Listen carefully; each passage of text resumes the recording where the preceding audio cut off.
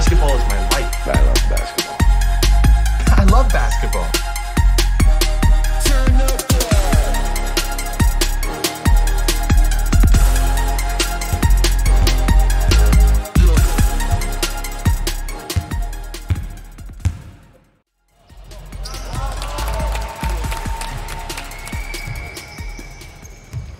Be there.